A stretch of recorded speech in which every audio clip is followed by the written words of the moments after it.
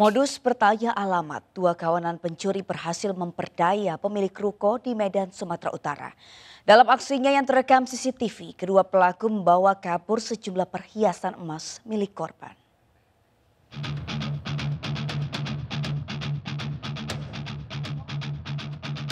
Inilah rekaman CCTV saat dua kawanan pencuri beraksi di Jalan Tambiang, Kota Medan. Modusnya, salah seorang pelaku pura-pura bertanya alamat dan terus mengajak bicara pemilik toko elektronik. Setelah korban lengah, satu pelaku lainnya dengan cepat menyelinap masuk ke lantai dua ruko.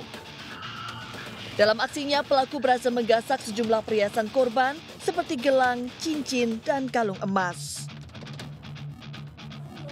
Menurut Afang, korban, kasus pencurian di ruko miliknya baru pertama kali terjadi.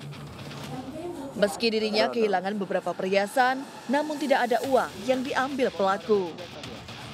Yang diambil apa aja?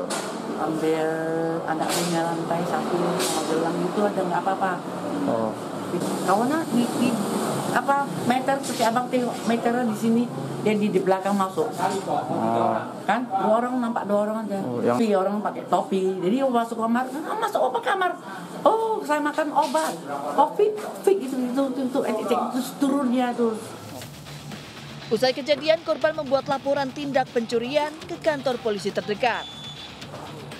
Korban berharap polisi segera menangkap kedua pelaku yang aksinya terekam kamera pengawas.